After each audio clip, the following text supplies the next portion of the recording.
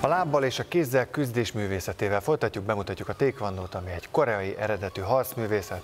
Vendégeink Szász Péter, a 2016-os Budapesti Világkupa főszervezője és Érseki Norbert, a Tékvandó Szövetség sajtófőnöke, közben pedig Rizmáján Norbert világbajnoknak és Szalai Gábor a szövetség főtitkának bemutatóját láthatjuk majd a beszélgetés alatt. Szervusztok, jó reggelt, köszönöm szépen, hogy itt vagytok.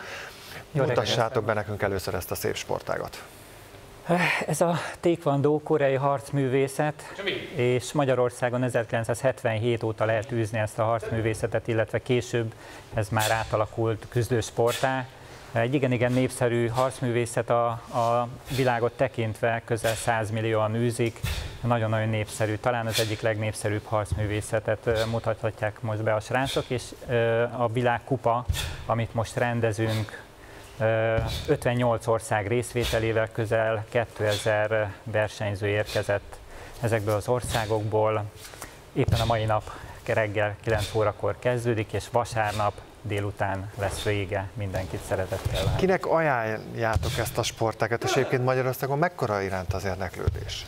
Hát Magyarországon jelenleg úgy nagyságrendileg 30-40 klub üzemel szerte az országban. Igazából ezt mindenkinek nagy szeretettel ajánljuk ezt a sportágat. Körülbelül gyakorlatilag kisgyerekkortól, 3-4 éves sporttól már lehet elkezdeni, és igazából nincsen felső korhatár. Ez nem egy versenysport, uh-huh. hanem ez egy tradicionális harcművészet alapvetően.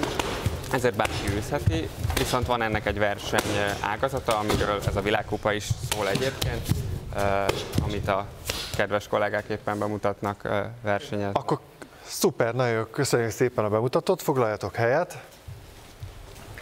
Fizikálisan mennyire megterhelő egyébként ez a sport? Eh, annyira mennyire csinálja az, aki éppen eh, eh, használja vagy, vagy bemutatja.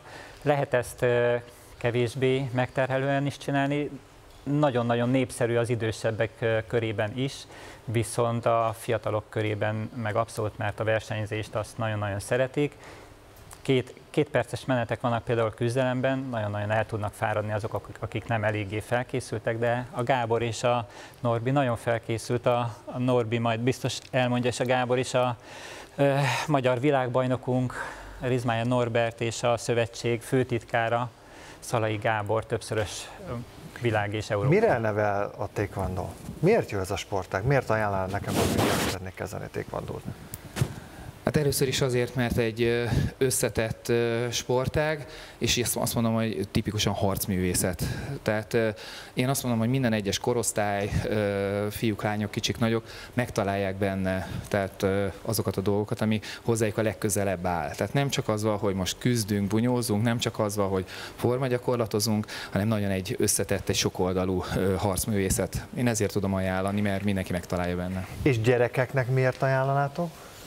Én gyerekeknek azért ajánlanám a tékvándót, mert megtanítja a gyermeket fiatalkorban test tudatosságra, megtanítja fegyelmezettségre, odafigyelésre, koncentrációra, ami nem állt az iskolába sem, így az edzésen kívül, és, és jó közösséget alkotnak, nagyon jó közösséget alkotnak edzésen a gyerekek, és ezt ugyanúgy át tudják vinni mindenhova máshova az életek területén, szerintem.